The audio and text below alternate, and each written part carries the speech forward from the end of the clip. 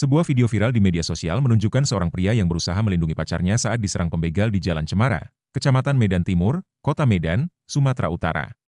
Dalam video itu, terlihat seorang pria berjaket hijau membonceng seorang wanita dengan sepeda motor. Tiba-tiba, mereka diserang oleh sekelompok orang yang mengacungkan senjata tajam.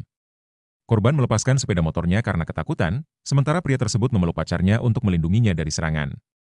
Tidak lama kemudian, para pelaku mengambil sepeda motor korban dan melarikan diri. Korban yang menjadi sasaran pembegalan adalah Julwardi, 24. Dia menjelaskan, peristiwa tersebut terjadi pada Senin, 16 September 2024, sekitar pukul 0.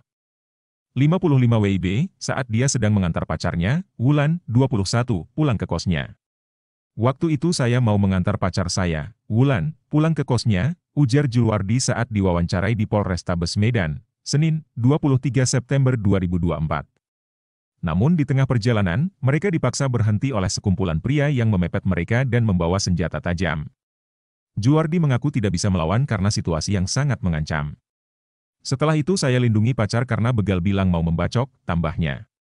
Akibat kejadian tersebut, Juwardi dan Wulan mengalami luka ringan serta trauma. Mereka pun segera melaporkan peristiwa tersebut ke Polsek Medan Timur.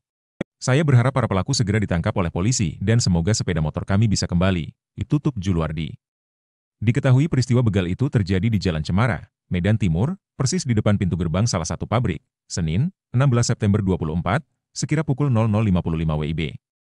Saat itu kedua korban yang mengendarai sepeda motor jenis Matic tiba-tiba dihentikan oleh satu unit sepeda motor yang berbonceng tiga. Selanjutnya salah seorang pelaku turun dari sepeda motor dan mengacungkan sebilah celurit ke arah korban yang disebut-sebut sepasang kekasih itu.